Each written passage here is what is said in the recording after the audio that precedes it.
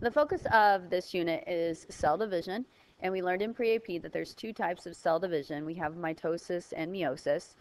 Now, in this unit, I'm just going to focus on mitosis, and I'm barely going to mention meiosis. Now, that doesn't mean that you're not ultimately going to have to learn meiosis, but I'm going to talk more about meiosis when we get in the genetics unit. One reason why I'm going to separate them into two units is because sometimes whenever I teach ideas or concepts that are really similar to each other, then students will start mixing up the ideas between the two different concepts. So we're going to put them in separate units. Now the emphasis in this lecture is the cell cycle. Remember the three stages of the cell cycle. And we're going to talk about one type of nuclear division, which is mitosis. And we're going to talk about cyclin and cyclin-dependent kinases and how they relate to a cell moving through the different stages of the cell cycle. Now, since we're talking about mitosis and not meiosis in this unit, then we're going to be talking about division of your body cells. And the other name for body cells, the more technical term for body cells, is somatic cells. So your somatic cells divide by mitosis, and here's a few reasons why. Remember that at one time you were one cell big, and you were called a zygote. Now, to grow from one cell to a multicellular organism, mitosis occurs. One cell divides into two, and then two divides into four, and so on. So we say that one purpose of mitosis is to grow an organism. Now, throughout your life, you have fallen down, you've skinned your knees, you've broken bones, and so you need mitosis to repair. Now, remember that cells have to maintain a small size because if cells get too big, then it's going to create this low surface to volume ratio. And that's not good for cells. We need cells to maintain a high surface to volume ratio so they can efficiently exchange materials with the environment. So when a cell gets really big, it's going to split into two smaller cells, and those small cells are going to have a high surface to volume ratio to exchange materials with the environment. Now I'm also going to introduce another term here. We want cells to have a high genome to volume ratio if you remember, I've had my genome sequenced. So think about what genome means if I say that I've had my genome sequenced. When we're talking about genome, then we're talking about someone's DNA and we're talking about the genes that they inherited. So um, they sequenced my DNA and they sent me a report that basically told me the genes that I possess. So that's what we mean by genome. Remember, your DNA codes for proteins. And so if we have a high genome to volume ratio, then that means that the DNA is going to be able to be transcribed fast enough to meet the protein demands of the volume or the contents of the cell. A cell that has a low genome to volume ratio would not be able to produce proteins fast enough to meet the cell demand. So we want cells again with that high genome to volume ratio. Now I'm just going to briefly mention meiosis here just so that we can Review again, mitosis is to heal and grow. Meiosis was so that you could sexually reproduce. So whenever organisms reach a certain age, they hit puberty, then they're starting to do meiosis in specialized cells called those germ cells. And meiosis makes those reproductive cells, which you see here.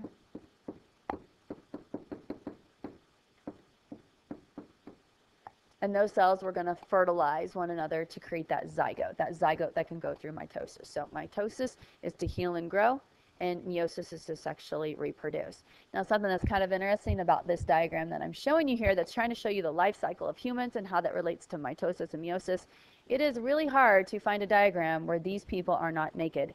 I'm not kidding. Google life cycle of humans, mitosis, meiosis, and I'm just telling you, every single picture that shows up, it starts with people and, and they're always naked. So I'm just excited I can finally find a picture of people that have clothes on. Now, when we're talking about mitosis, it's not really cell division. Mitosis is actually just the division of the nucleus. Technically, when we're dividing the nucleus, we're dividing up the DNA. So there's many terms related to DNA that you have to understand before we can talk about mitosis and the division of the nucleus. So one thing about DNA is that its structure changes throughout a cell's cycle or throughout the life cycle of a cell. When DNA is unwound or uncondensed, it looks more like this. And sometimes we say that it looks stringy or we can say that it is in chromatin form. So if we have DNA and it's in chromatin form, then that means it's uncondensed. It kind of looks like a string. It's not wound up into a chromosome. I like to take my eye and do this to it so that you remember that chromatin is DNA in stringy form. So I'm kind of showing you a string there. Now, right before a cell divides, DNA in chromatin form is going to coil up. And it can't coil up on its own. It actually has to coil around proteins, and those proteins are called histones. And you see those histones right there. And we've talked about histones in a previous unit. If I give you a string and I ask you to coil it up, you'll probably start coiling it around your finger. So those histones just serve as a base or something that the DNA can coil around. Now before the cells divide again, they're going to coil up DNA or they're going to condense their DNA and it now forms those chromosomes. So if you have a cell and it has DNA in chromatin form, when we take a look at that cell underneath the microscope, you're going to see a nucleus and that's pretty much it. You can't see the DNA that's in the nucleus because it's in chromatin form. Now, if a cell is dividing or it's in preparation, very close to dividing, the DNA will coil up and you will actually see X's. So again, you can see DNA when it's in chromosome form, but you can't see DNA under a microscope whenever it's in chromatin form.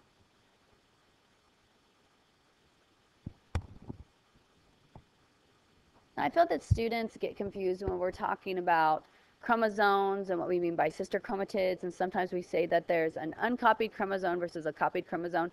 So I want to take a second to address these terms before we actually get into mitosis and the division of the DNA in a nucleus. If we have a cell and it has uncopied chromosomes, so let's say this cell is diploid, and the abbreviation for diploid is 2N. Let's say it has a diploid number of 4, then what I would see in that cell or in that nucleus, if we could coil up that DNA, is we would see four chromosomes that look like this. So when we draw them like this, that means we have uncopied chromosomes. Before a cell divides, then it's going to copy its DNA, and that's called DNA replication. So each chromosome is going to make a copy of itself. So this one will copy, this one will copy, copy, and copy. And after a chromosome copies itself, when the, the DNA coils up, it doesn't look like a single line anymore. It looks like an X. So I think of this first chromosome, this one right here.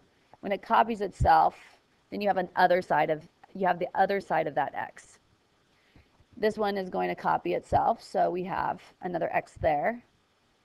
Third chromosome makes a copy, and that fourth chromosome makes a copy. Now when the cell splits, we're going to end up with one side of each of these copied chromosomes going into each of the daughter cells. So this daughter cell is going to get four chromosomes. This daughter cell is going to get four chromosomes. And when we look at these chromosomes, since they're a single line, I want you to think these are uncopied chromosomes. Okay, so again, a copied chromosome is going to look like an X. An uncopied chromosome is just going to look like a single line. Now sometimes, and this is where it gets a little bit confusing, this copied chromosome, sometimes we don't call it a copied chromosome. We call it the sister chromatids. Because one side of this copied chromosome, we, we call it a sister chromatid, and this is the other sister chromatid. So these sister chromatids are held together by a structure which is called a centromere. So I'm going to draw that centromere there, and it's pointing to it right there. So we say that the sister chromatids are held together by a centromere. Or we can say that after a chromosome has been copied, we now have two sister chromatids. So again, I'm just trying to work through some of the terminology because I think students get confused as when we call it a chromosome, when we call it a chromatid. But honestly, I just like to reference an X as a copied chromosome and a single line is an uncopied chromosome. And that should be good enough. One other term that I want to point out here, a kinetochore A kinetochore is a location on the side of the sister chromatids where these spindle fibers are going to attach. So this is where we find kinetochores. So if you want to draw a line from the kinetochore up here to the actual location, and that's where the spindle fibers are going to shoot out from the centrosomes, and they're going to attach to the sister chromatids at the kinetochores.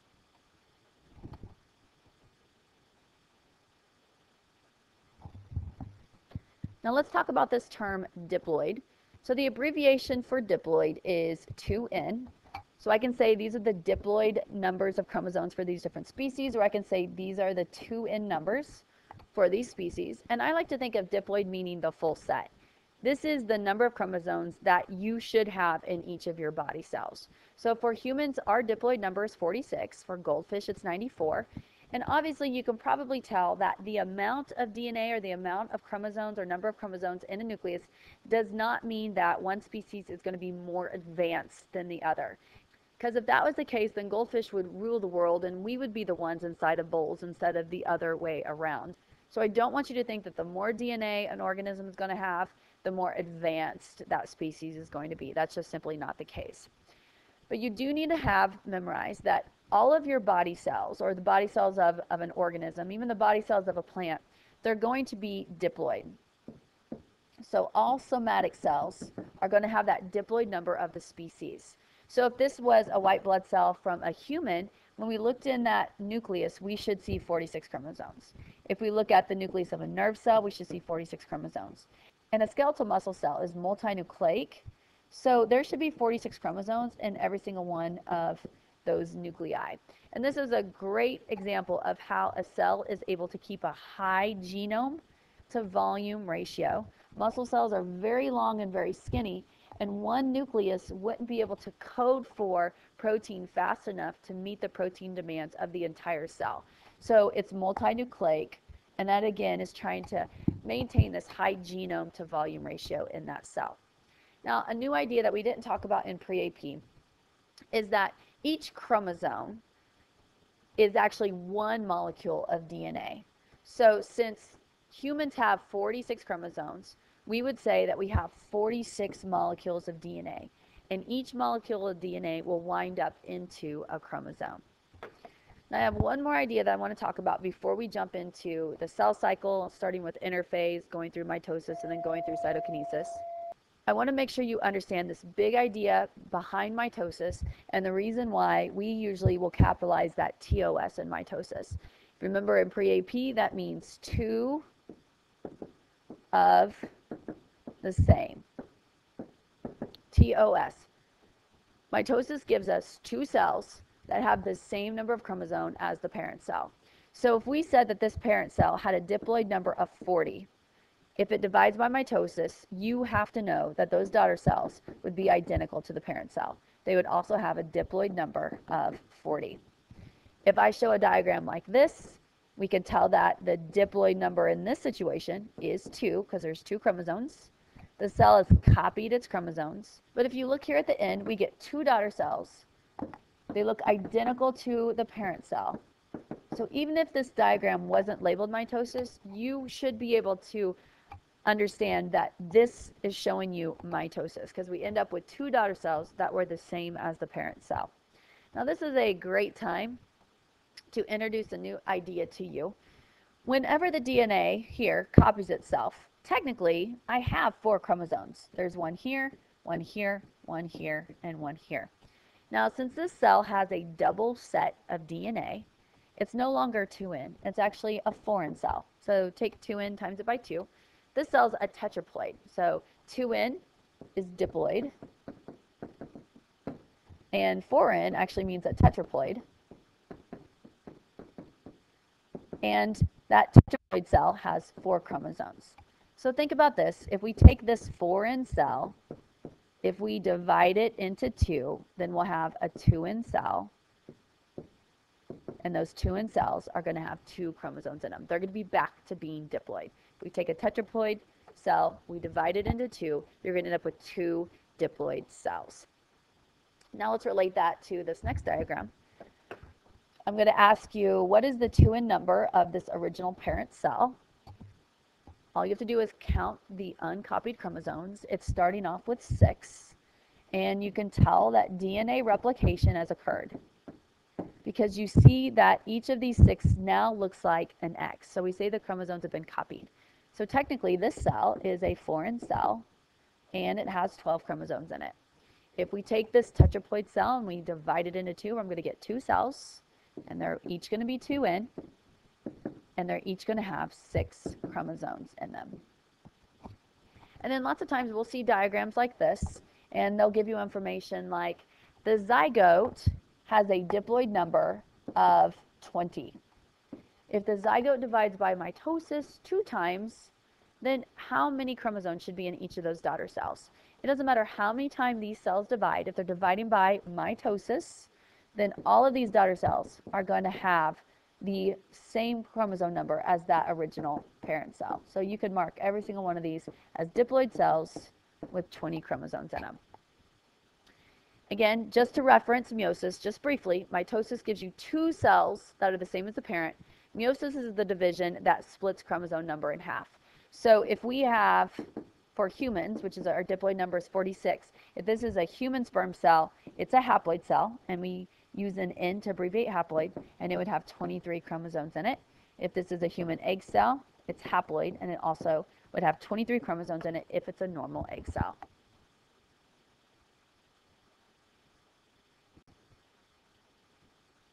Now the purpose of this page is to give you an overview of the three main stages of the cell cycle. So when we talk about the cell cycle, I'm really talking about the lifespan of the cell. And We're going to start with the cell um, at its earliest age and we're going to walk it through its life and all the different stages in its life until we get to the end. Now, we don't really call it a lifespan, we call it a life cycle because whenever a cell makes it all the way through the cell cycle, and I'm going to show you where we're going to start here. We're going to start here. This is the beginning of this individual cell. When it makes it all the way around through the cell cycle, then it splits into two cells. And then those cells start again in this cell cycle. So there's really no end to these cells, so to speak, because as soon as they get to the end of their cell cycle, then they split. And then those two individual daughter cells, then they begin the cell cycle as well. So with us, we don't have a cell cycle. We have a lifespan because we have a beginning and then we have the end. But when we get to the end of our life, we don't split into, um, we pass away. So that's not the case with the cell. And that's why we call it a life cycle and not the lifespan of a cell. So there's three main stages of the cell cycle. The first and longest one is interphase.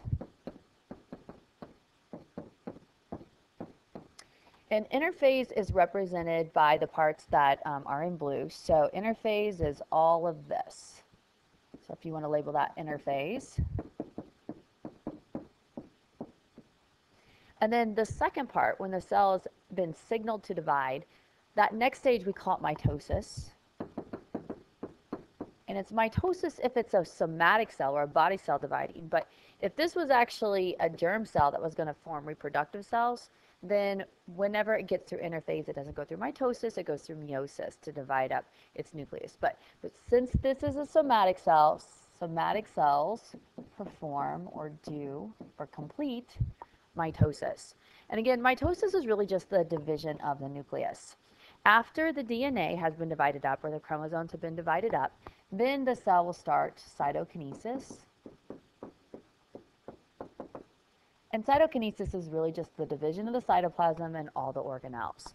So collectively, these two are necessary for cell division. Interphase is really just the cell um, at a time whenever it's doing the processes that it needs to do to support the life processes of the body um, it's also the time when it's getting ready to divide. But really, mitosis and cytokinesis are the stages involved whenever the cell is actively dividing. So let's indicate those are a time of cell division.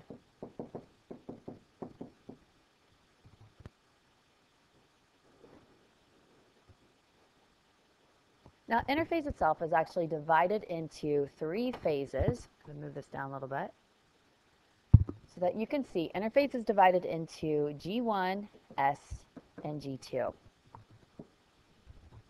Now, I've already mentioned that interphase is the longest phase of the cell cycle. So if you take a look at a sample of tissue, then you're going to see that most of those cells that are in that tissue, they're going to be in interphase.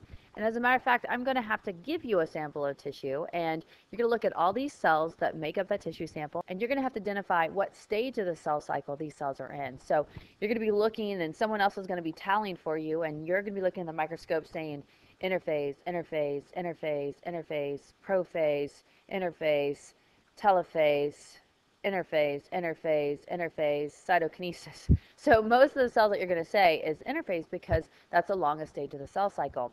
Just as a, an example, um, if you go to, let's just go to a Chiefs game, if you take a look at the sample of the population that's there, you'd probably say most of the people there are adults.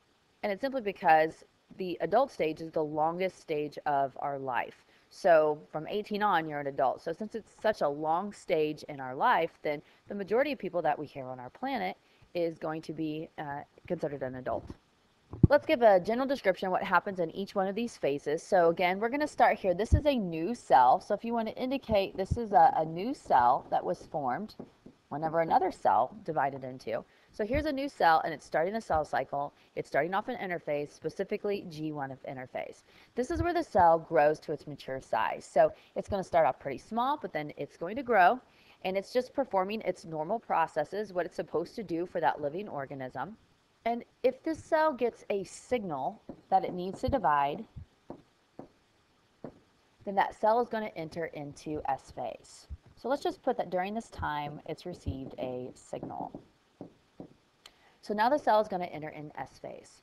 I want you to think of S phase, or that S, meaning synthesis. And what is exactly being synthesized is DNA.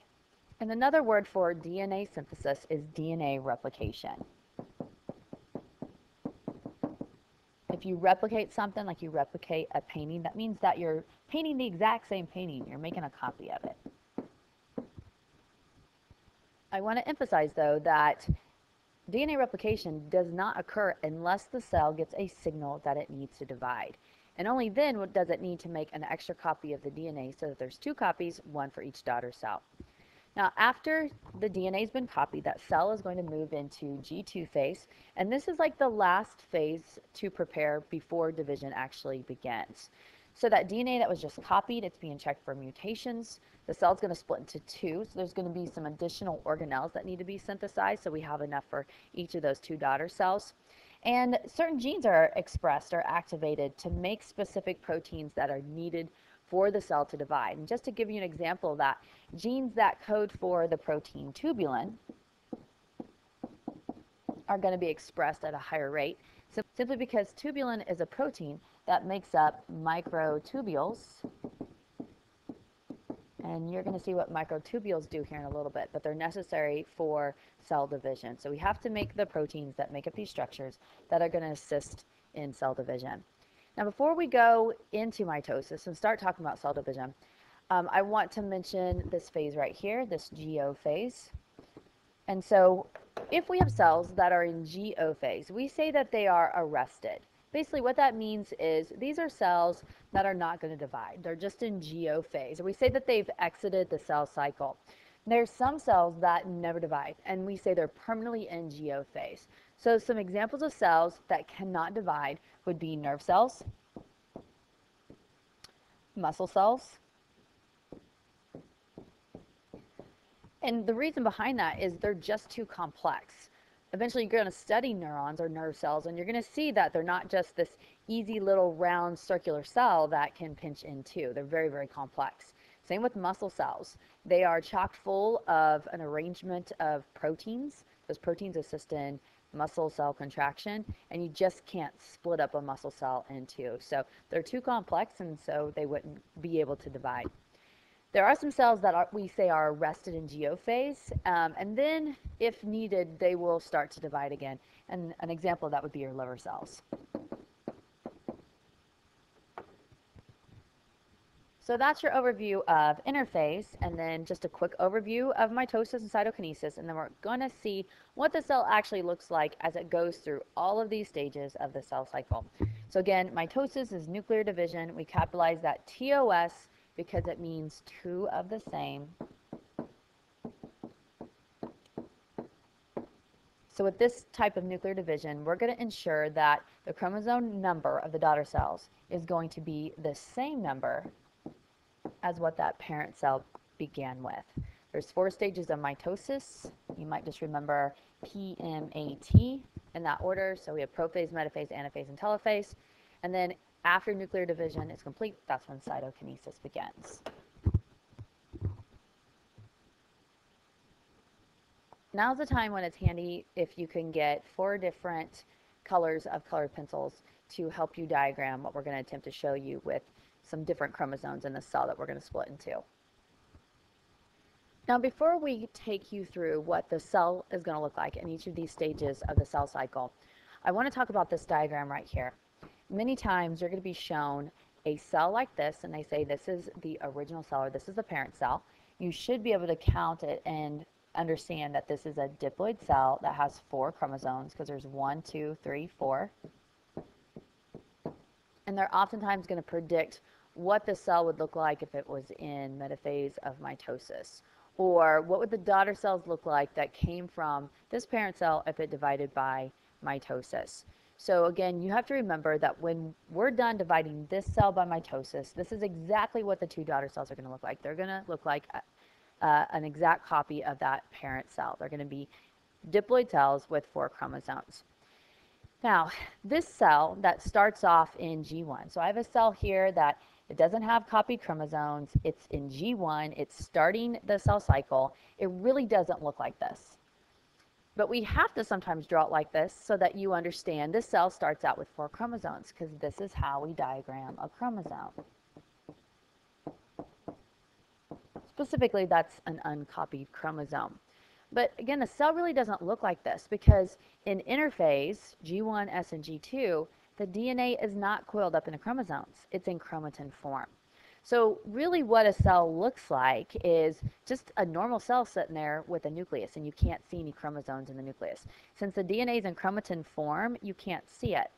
So, but to show you that it's this, this cell that we're going to divide is a diploid cell with four chromosomes. Um, and just to represent that the DNA hasn't been copied yet and it hasn't coiled up yet, what I want you to do is I want you to grab those different colored pencils. You need four different colors. And we're just going to draw four chromosomes in chromatin form. So I will draw a pile with one color. So this is DNA, and it's in chromatin form. So that's one molecule DNA. That will eventually coil up into one chromosome. Take a different color, but I'm not going to be able to show you that with this smartboard, and make another pile. So make that red, and then maybe make this one green, and then this one blue. So really, whenever you see a cell in G1 of interphase, you don't even see the stringy DNA or anything like that. It really looks like just a cell, and you can't really see anything in the nucleus. It just looks like a circle there in the middle when this cell gets a signal to divide, then it's actually going to go into the next phase of interphase, that S phase. Again, S stands for synthesis, so the DNA is getting copied. So what I would like for you to do is take those colors again, and I want you to make that pile of DNA twice as big or twice as thick. So really show that there's twice as much DNA now. So this molecule of DNA has been copied. So double up the pile of red double up the pile of green, double up the pile of blue, just to emphasize that the DNA has been copied or it's been replicated. Technically, since we've doubled the amount of DNA, that we've doubled the amount of chromosomes in this cell, this is a tetraploid. It's a 4N cell, and it has eight chromosomes now that we're going to see here in a little bit when the DNA finally coils up. Again, in G2, this is final preparations for cell division. Again, we're making more proteins, we're making more organelles to make sure there's plenty for the two different daughter cells that are going to result. So if you want to show the DNA in this cell, it's just like what it was. You just have a doubled pile of each of those chromosomes. So just basically draw the DNA the exact same way that you drew it above in that S phase. And before we go into mitosis, I just want to show you where we're at We've made it all the way through the cell cycle at the end of G2, and we are right here. And the cell is just about ready to actively divide. We can tell that mitosis or cell division has started because at this time, we're going to see that nucleus or that nuclear membrane is going to start to disappear. And as soon as we see that, and as soon as we see that the DNA is starting to coil up and form chromosomes, then we know that we're at the end of G2 and that division is occurring. We have officially started mitosis.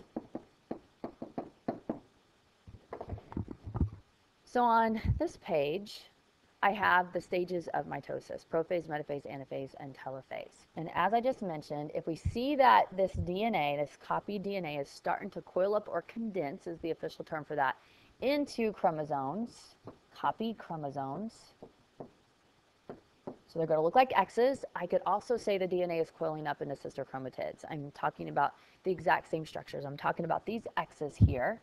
Again, the DNA looks like X's because they were copied in S phase of interphase. So we see the DNA is starting to coil up into chromosomes. I already mentioned that nuclear membrane is going to disappear because we have to move the X's or the chromosomes around. So we need to make room to move them around in the cell. Now the term centrosome is new to you. And we just say that the centrosome is kind of the area around the centrioles. We're going to start to see spindle fibers starting to form. Spindle fibers are microtubules that are made of tubulin. And so if I was going to identify what a centrosome was, I would say this this area, this the structure that we're starting to see kind of take shape here, that's that centrosome. We have two of them. Here's the other centrosome. Inside that centrosome, like I said, we have a centriole. We have talked about centrioles before. So centrioles, uh, they come in pairs and they kind of look like a cylinder. So think of like a oatmeal container. The actual function of the centriole is unknown or it's debatable because we know that plant cells they form spindle fibers and they can divide just fine without centrioles. And I do believe there's been some experiments where in the middle of animal cell division, they've removed the centrioles and the animal cells continue to divide with no problem. And again, the spindle fibers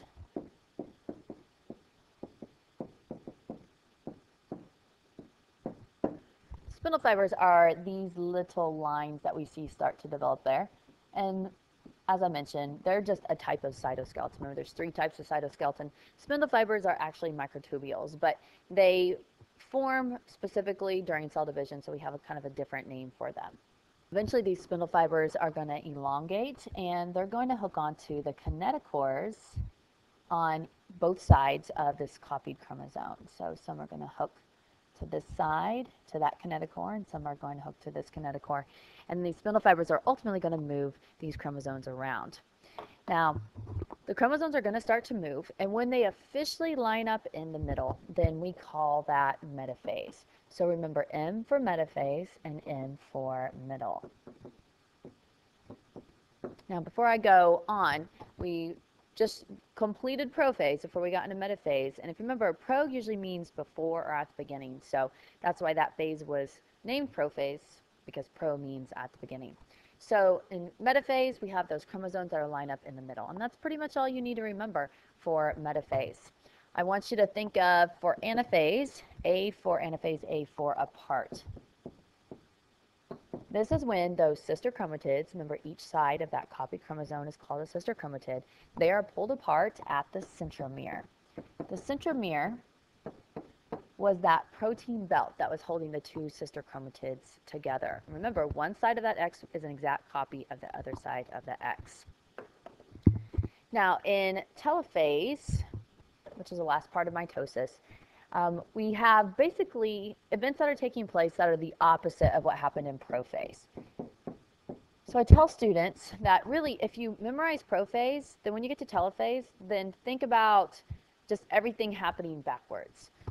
Remember in prophase, we condense the DNA. Well, now we're going to uncoil them in telophase. The nuclear membrane disappeared in prophase. It's going to reform, and you can see that it's reforming here around those two different sets of DNA. The spindle fibers that were formed in prophase, they're going to be disassembled. They're not needed anymore. And also, as these two nuclei are starting to form there, cytokinesis is already beginning, and that's that third official stage of the cell cycle.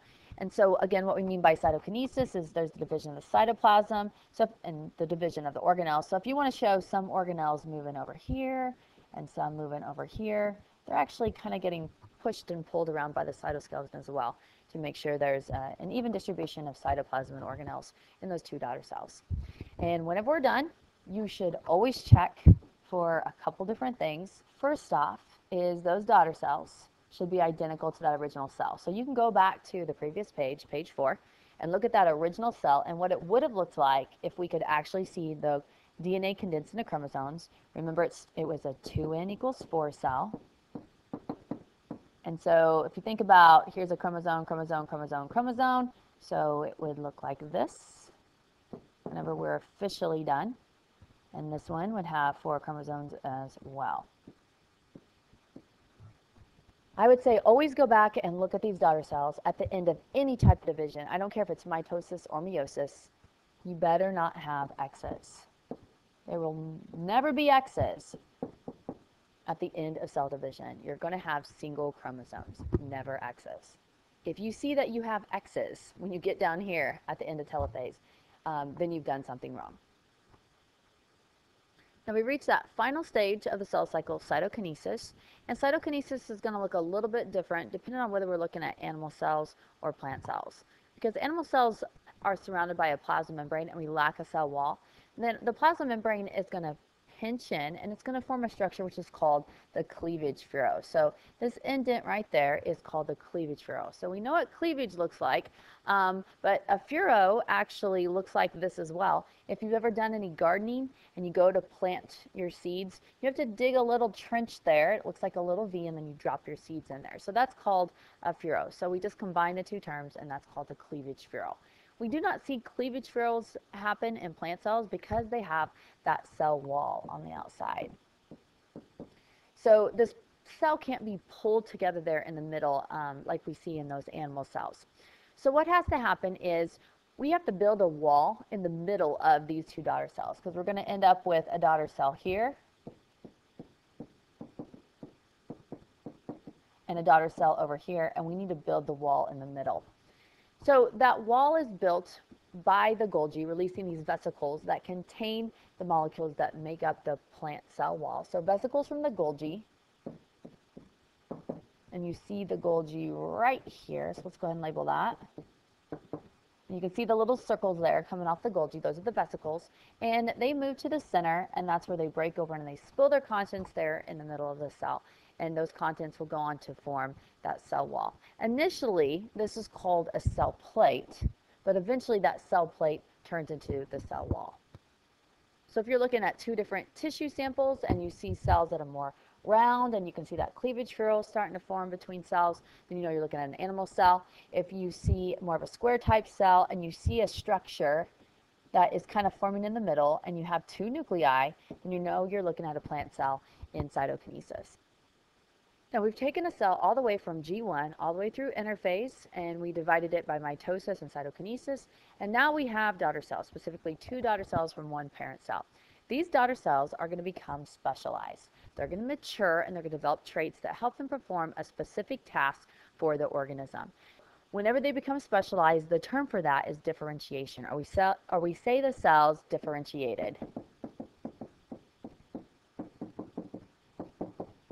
So when unspecialized cells become specialized, then we say these cells have differentiated. So I wanted to give you a few examples of where we see cells differentiating. Even as an adult, you have cells that are dividing, you're getting new daughter cells, and those cells are differentiating. Sometimes when we think of differentiation, I think students um, just think about cells of an embryo that are going to become specialized as that organism develops. But you have adult cells that are differentiating as well.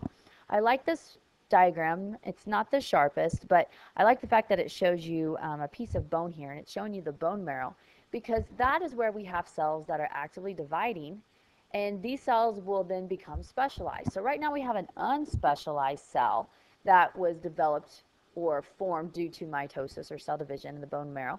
And this cell, depending on the signals that it receives from the environment, it can turn into different types of cells. Um, it can turn into this cell, which will then specialize become this cell. And these are actually, these are red blood cells, erythrocytes.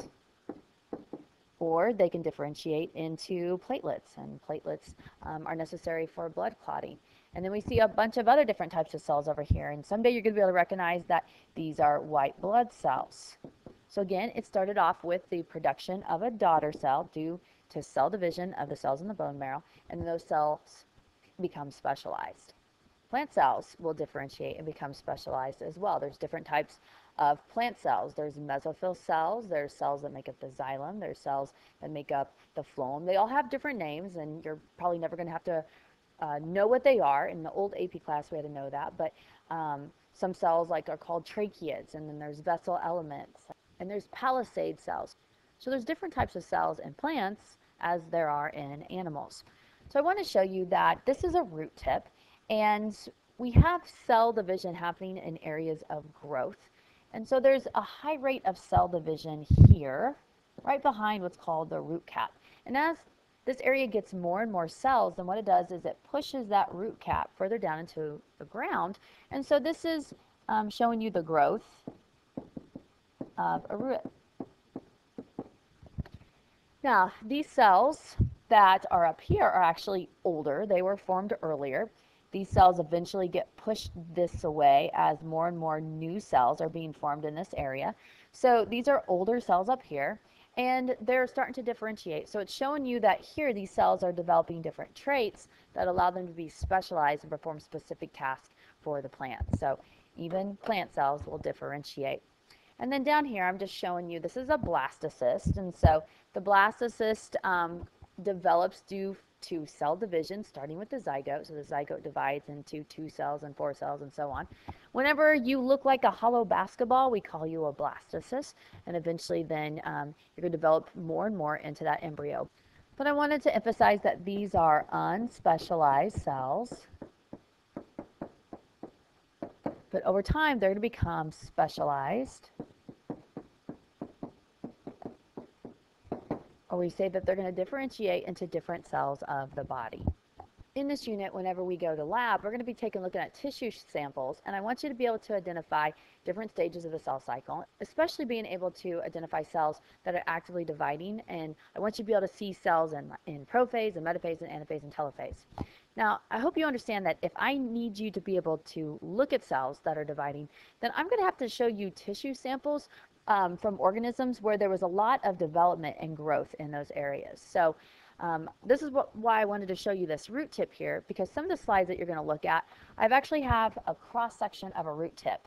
We have cut out this area right here, and we've stained it, and we fixed those cells so that you can see these cells kind of frozen in different stages of mitosis. So again, there's lots of division taking place there. So if I need to show you cells going through prophase, metaphase, anaphase, and telophase, I have to find cells that are actively dividing. If I took cells off of um, the top portion of a leaf, you're not going to be able to see prophase, metaphase, anaphase, telophase because there's really not uh, actively dividing cells in that area. Some of you are going to be looking at um, blastulas or um, basically something that kind of looks like this, except there's going to be more cells to it. It's going to be more like a filled-in basketball instead of a hollow basketball. Um, and before you, you know, freak out thinking that we're looking at embryos, we, we are kind of looking at embryos, but we're looking at embryos from a whitefish. We are not looking at human embryos. Just want to be specific about that. So again, just have an idea of where we would have to look at for tissue if we want to see cells that are actively dividing. We need to look um, in areas of organisms where there's um, rapid growth and development and repair of tissue if you want to see cells in the different stages of mitosis.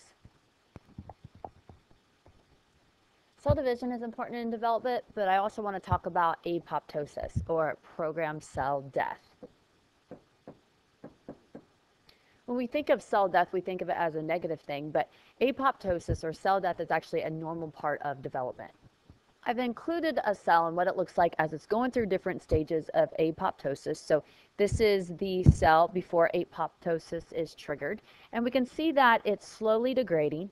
And eventually we end up with a small cell fragment. And this is a macrophage that is actually going to ingest that cell and completely break it down. And down here I've included diagrams where apoptosis is occurring so that we have normal development in organisms. For this first example, you can see that um, I have basically the, the limb or the hand of a human embryo. And what this is diagramming is that in certain areas of the structure, apoptosis is occurring. You can see that with the red highlight there. If it wasn't for apoptosis, then whenever you were born, your fingers would not be individual digits. They would be all connected together. And you can see that apoptosis or cell death finally separates those individual digits. Another example where we see apoptosis in development is with tadpoles there is apoptosis occurring in these cells that make up the tail. And eventually, all of those nutrients, all those proteins, carbs, lipids, and nucleic acids that make up the cells of the tail are going to be reabsorbed by the frog and reutilized. Another option would be if the tadpole just lost its tail. But if you think about it, that organism just lost a bunch of nutrients that it could have utilized in different ways. So there's actually an advantage to apoptosis during development. In this section, we're going to focus on regulation of the cell cycle. There's many proteins that are made throughout a cell's life, and these proteins assist in tasks that are necessary for life for whatever stage that cell is in. Just to give you an example here in S phase, that's when the DNA is getting synthesized. There's proteins that synthesize the DNA. So it's important that these proteins are made during that time so that the DNA can be copied correctly. Now, before we get into some of these proteins like the cyclins and the cyclin-dependent kinases, let's first talk about the checkpoints. And you need to remember that there's three checkpoints during the cell cycle. Now, during each of these checkpoints, DNA is being analyzed to make sure that it's intact and it's in the right place so that the cell can have normal division. If a cell enters in time whenever it's considered a checkpoint, if that DNA is not intact, then a couple different things can happen. The cell can try to repair the DNA,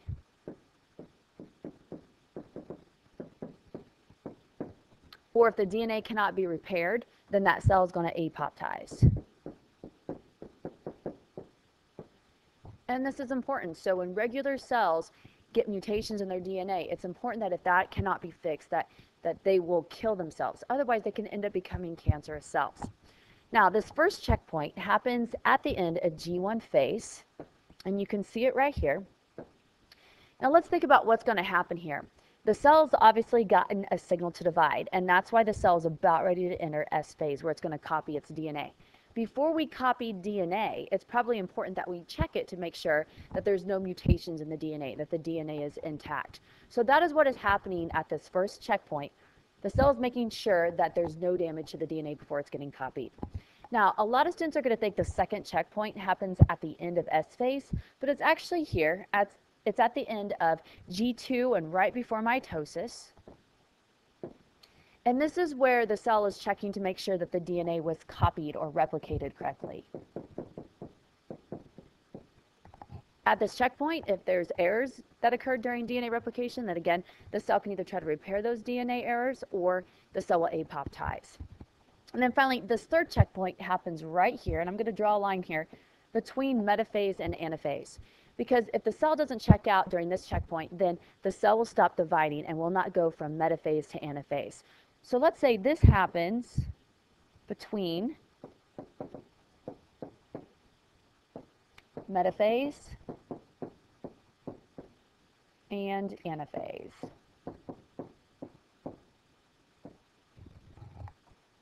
At this checkpoint, the cell is making sure that all the chromosomes are attached and accounted for and they're in the middle of the cell. So it's almost like it's checking that it hasn't lost any of those copied chromosomes and that we're going to be able to divide up each of those sister chromatids and each one's going to go into a daughter cell. Again, if there's issues with the DNA, if not all the chromosomes have been lined um, at the equator, then the cell will apoptize. Now we're going to talk about two important proteins that are important in the moving of a cell through that cell cycle from stage to stage. The first protein is called cyclin, and the second one is called the cyclin-dependent kinase. And lots of times we're just going to abbreviate it the CDK. We've already talked about kinases before, and kinases are proteins that can activate other kinases by phosphorylating them. And eventually what will happen is these kinases that are being activated are going to activate this copying or the transcription of certain genes so that certain proteins needed by the cell related to that time in its life are then synthesized. Let me give you a simple example of what I mean by that. So when a cell is about ready to get to S phase, remember S phase is where the DNA is being replicated, then certain genes are going to be activated and they're going to code for proteins needed to synthesize or replicate the DNA. So one specific protein that we're going to talk about later on this unit is DNA polymerase.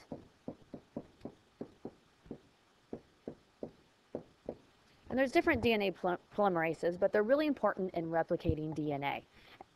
This diagram is attempting to show you exactly how we can get proteins being made in a cell related to a specific time in the cell cycle.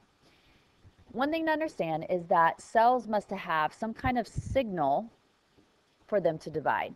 So here we have a ligand binding to this receptor protein.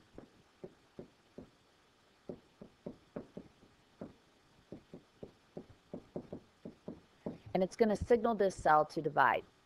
Now, whenever the ligand binds to this receptor protein, there's a shape change, so I want to indicate that. And that's going to activate molecules in the cytoplasm, specifically kinases. Now, there's a certain type of kinase that you might want to remember, and these are called MAP kinases. And MAP kinases are related to cell division. MAP stands for mitogen activating protein kinases. And mitogen is the combination of the word mitosis and genesis. So we're trying to generate cells through mitosis, through cell division. So that's why they're called MAP kinases. So I'm going to draw a MAP kinase there so we don't get them confused with these cyclins and these CDKs. And whenever MAP kinases activate other molecules, they phosphorylate them. So I'm going to put a P there so now I have an active kinase. And kinases can lead to the transcription of genes. So here I have a gene that codes for cyclin. And we just talked about cyclin and cyclin-dependent kinases are important in moving a cell through the cell cycle. So once these kinases activate the transcription of these genes, then we're going to get cyclin produced. And here's some cyclin molecules. I want to add some more cyclin molecules so that you understand the concentration of cyclin is increasing in the cell now we mentioned these CDKs, these cyclin-dependent kinases, and they're inactive unless cyclin is present.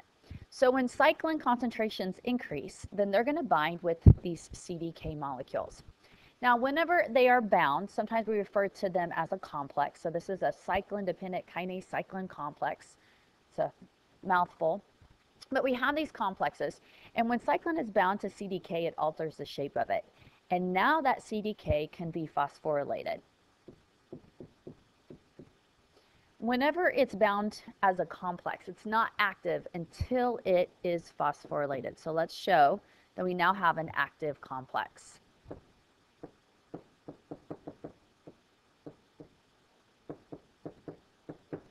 So this can lead to events that activate proteins so that we can get some certain genes transcribed. Specifically, we need to transcribe some genes that code for proteins related to the S phase. Right now, though, transcription is not going to happen. So whenever these kinases are activated, they can activate other molecules or alter them. And you can see now that this molecule has been removed. And technically, this would be a transcription factor.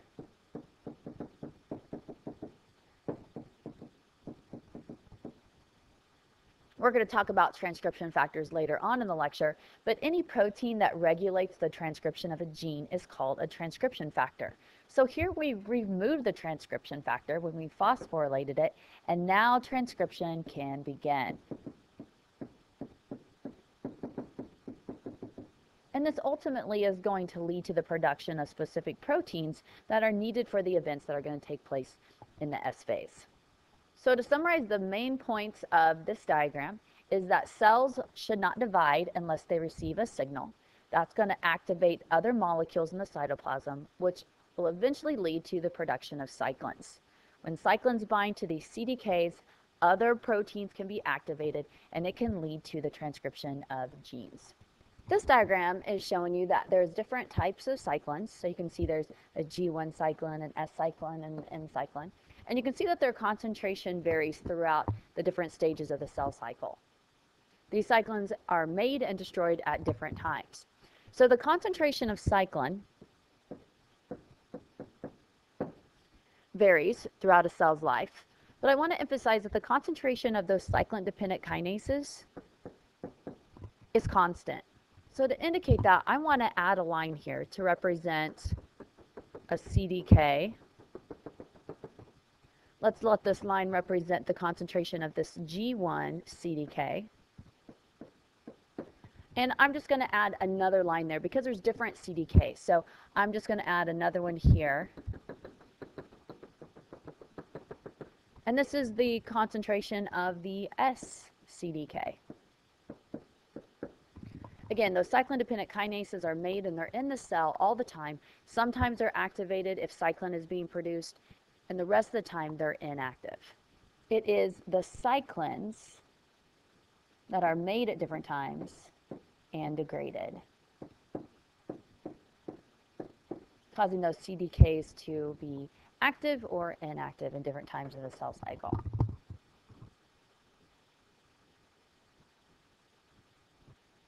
This diagram that I included over here is out of the Cliff Notes book, and I think it's a great diagram and one that's easy to understand.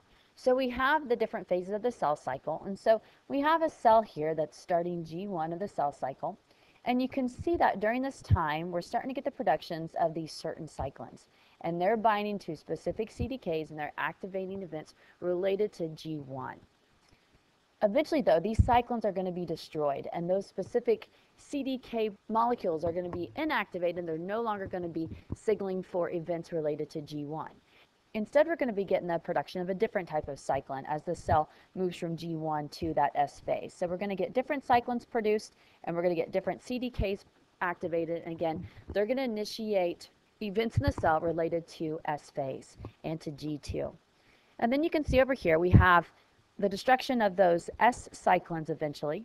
And then we're getting a greater concentration of a different type of cyclin now during the next stage of the cell cycle. So these M cyclins are being synthesized, they're activating these MCDKs, and that's leading to events related to the end of G2 and division during mitosis. So these cyclins and these cyclin-dependent kinases are related to checkpoints because whenever cyclin is produced and we get this specific complex being formed, if these checkpoint conditions are met, so the DNA is intact or the DNA has been replicated, then that CDK is finally activated by phosphorylation.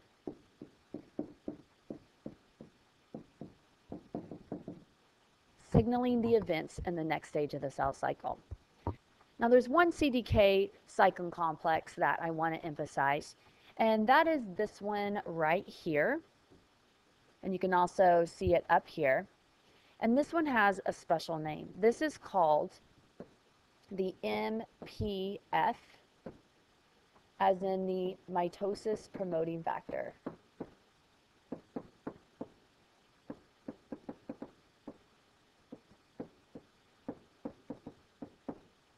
This is the one that is important for signaling cell division. And I wanted to point this out because I see that it's referenced more often than the other ones. So if you see a question that's talking about this MPF, this mitosis promoting factor, this CDK cyclin complex, then you know that cell division is about ready to begin. Without the formation of this complex, cell division would not occur. I wanted to include this diagram because I think it's important to emphasize this idea right here is that these cyclin-dependent kinases are finally inactivated whenever the cyclin is degraded. So here we have an active complex, as you can see right here, and it's promoting mitosis.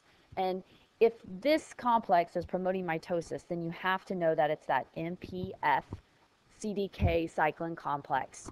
But you can see that eventually this signal, which is telling the cell to go ahead and proceed into mitosis, is going to be shut off. And that's important because the cell doesn't always need to be receiving signals to divide. So that cyclin is being degraded, and you can see that this cyclin-dependent kinase, it remains in the cytoplasm, and it's just going to be inactive. And it's going to remain inactive until the cell then gets a signal to divide, copies its DNA, goes through that G2 phase, and it's now ready for division to take place, and we're once again, we're going to see that production, that increase in concentration of that cyclin B to activate the specific cyclin-dependent kinase. Now I want to look at some example questions. So you have an idea of some questions that we could be asking you about cyclins and the regulation of the cell cycle. If you want, take a second to pause and see if you can answer some of these questions on your own. The first question is about DNA replication and the fact that there's an enzyme that we're going to talk about later in the unit named ligase, and it's its job to seal the backbones in DNA when the DNA is being replicated. So the question says, which cyclin is responsible for activating a CDK that will result in expression of genes related to ligase? Well, since we're talking about DNA replication occurring, then I would say that cyclin E right here is the one that is causing the activation of these genes related to ligase. Because the cell is about ready to replicate its DNA, so it's having to make these enzymes that will assist in that. The second question says which cyclin would activate CDKs that lead to proteins that degrade the nuclear membrane. To answer this question, you have to remember specific events that happen during different phases of the cell cycle. And the nuclear membrane is being degraded in prophase of the cell cycle. So you'd have to look and see which cyclin is increasing in concentration right before prophase. Here we have mitosis, and the first phase is going to be prophase. So I would say prophase is occurring about here. So prophase, metaphase, anaphase, and telophase. So I would say cyclin B is responsible for activating these CDKs that are related to producing enzymes that will degrade the nuclear membrane. Number three says, add a line to the graph to show how the concentration of G1 CDKs varies throughout the cell cycle. This is kind of a trick question, but I want to emphasize that it's the production and the degradation of cyclins which will cause the cell to go through the different stages of the cell cycle. The CDKs are constant. So if you just drew a line that is showing a constant concentration of CDKs, then that would be accurate.